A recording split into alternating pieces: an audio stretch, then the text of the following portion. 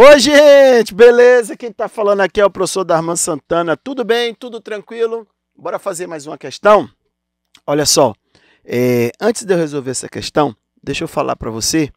É, não, se você ainda não é inscrito no nosso canal, faça sua inscrição, cara. Ó, o nosso canal é, é Explica aí Oficial, tá bom? Não esquece não, tá bom? Se inscreva é, curta nossas mensagens e se não for pedir muito, deixe o seu comentário aí, que é importantíssimo para nossa evolução. Tá bom? Vamos fazer questão? Bora! Enem 2016, primeira aplicação. Olha só que legal. Diz assim: após seu desgaste completo, os pneus podem ser queimados para geração de energia. Dentre os gases gerados na combustão completa da borracha vulcanizada, Alguns são poluentes e provocam chuva ácida.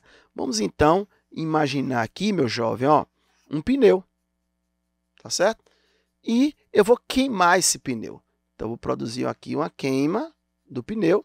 E ele disse que a queima desse pneu produz gases. E que esses gases, eles causam chuva ácida. Meus amigos, se esses gases causam chuva ácidas, é porque esses gases são gases ácidos. Tudo bem? Agora, para evitar que escapem para a atmosfera, esses gases podem ser borbulhados em uma solução aquosa contendo uma substância adequada.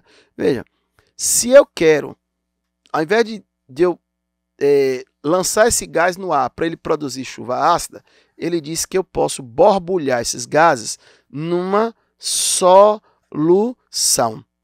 Esses gases serão jogados dentro dessa solução. Gente, se os gases são ácidos, diz aqui para o seu amigo Dan, essa solução deve ser uma solução ácida ou básica. E vou escrever aqui. Ácida ou básica? Claro que é uma solução básica. Então, essa solução deve ser básica para neutralizar esse ácido. Então, eu tinha um pneu que eu queimei e produziu gases. Peguei esses gases e evitei que ele produzisse chuva ácida. Mandei ele para uma solução básica. Ele, ele disse assim: considere as informações das substâncias listadas no quadro. Fenol. Fenol aqui, ó. Olha, o fenol em água ele está produzindo H3 ou mais. Então, esse fenol aqui é um, é um ácido. Piridina. Ó, a piridina em água está produzindo OH-. Ela é uma ela é uma base. Metilamina em água está produzindo hidroxila.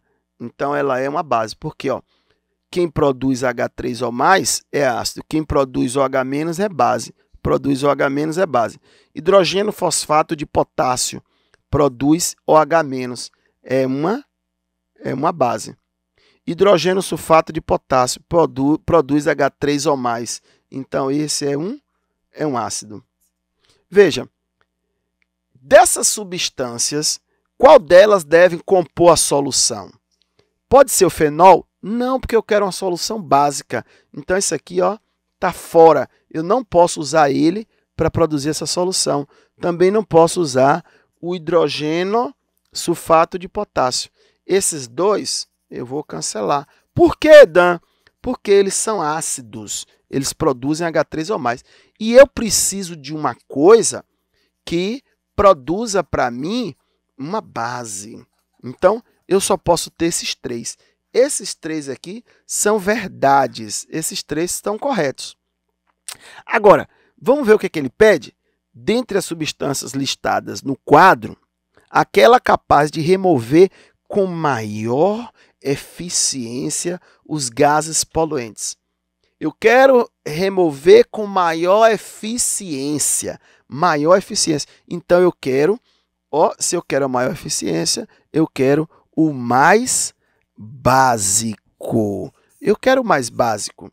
O mais básico é aquele que vai ter um, uma constante de equilíbrio KB maior. Ô Dan, e cadê a constante de equilíbrio? Está aqui, ó. Ó, valor da constante. Essa constante aqui é uma Ka, porque isso é um ácido. Essa constante aqui ó, é uma Kb, porque isso é uma, é uma base. Isso aqui é uma Kb, isso aqui é uma Kb, porque são bases, isso aqui é uma Ka. Como esse não quero, esses três são cabeças. Aí vem a pergunta: qual desses eu vou escolher? Quem tiver o maior valor de KB é o mais básico, logo vai ser o mais eficiente para remover os gases ácidos da queima do pneu. Esse valor é 1,7 vezes 10 a menos 9, esse valor é 4,4 vezes 10 a menos 4 e esse valor é 2,8 vezes 10 a menos 2. Esse é o maior valor de todos. Lembra que o expoente está negativo, 10 a menos 2. Então, se esse é o maior valor de Kb, então hidrogênio fosfato de potássio é ele que é o mais básico. Então, ele, hidrogênio fosfato de potássio, hidrogênio fosfato de potássio, ele é o gabarito dessa questão. Gabarito letra D, tá bom?